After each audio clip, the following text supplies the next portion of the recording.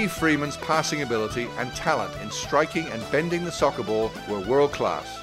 The Richmond, England native led Florida Tech to the Division II National Soccer Championship in 1988, the school's first ever national title in any sport.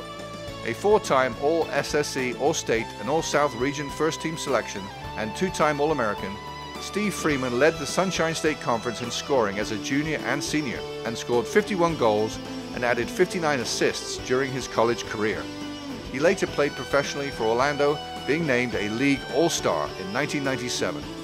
A Sunshine State Conference Hall of Famer, Freeman was inducted into the Florida Tech Hall of Fame in 1995. Steve was a determined leader and integral to the upstart Panthers' meteoric rise to the top of NCAA soccer, said former Panthers head coach Rick Stotler.